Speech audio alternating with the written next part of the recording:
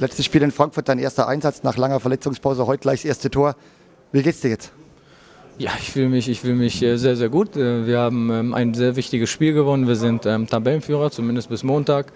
Ähm, wie gesagt, drei Punkte geholt vor einer tollen Kulisse zu Hause, Tor geschossen. Wie soll man sich da sonst fühlen, außer sehr gut. Flo, du bist Rechtsverteidiger. Wie oft kommt es vor, dass man alleine als Rechtsverteidiger auf den Torwart zuläuft? Hast du das schon mal geübt vorher? Nein, allzu oft kommt das nicht vor. Ähm, heute war es der Fall und ich bin natürlich froh, dass er reingegangen ist, weil die Aktion habe ich selbst im Training nicht oft.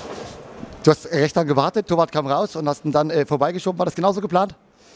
Ganz ehrlich, ich habe ab, ab, da, wo ich loslaufen bin, eigentlich immer nur nach links geguckt. Wann kann ich spielen? Wann ist der richtige Zeitpunkt abzuspielen? Ähm, der kam nicht, weil der Innenverteidiger die ganze Zeit spekuliert auf den Pass. Und irgendwann habe ich dann gedacht, okay, jetzt muss ich ihn selber machen. Und hat ja dann funktioniert zum Glück.